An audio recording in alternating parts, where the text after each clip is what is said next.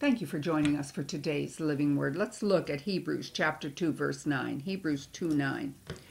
But we see Jesus. Now uh, remember, we are to see Jesus. How do you see Jesus?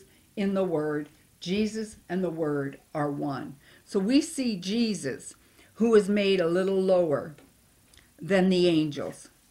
He was made lower than the angels when he hung on the cross and became sin.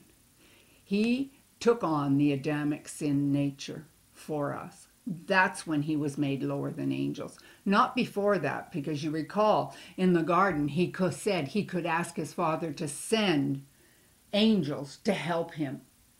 Well, that's because all the angels are actually ministering spirits for us.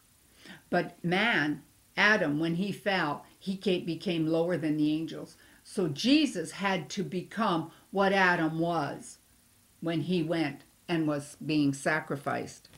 For why? Why did he do it?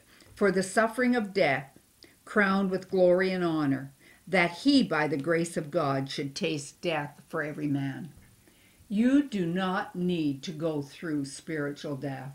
Once you got born again, you will no longer taste death. It's talking about our spirit here and death as far as anything. Sickness is death. Jesus bore that. You don't have to taste it. Poverty, you don't have to taste it. Shame, you don't have to go through that.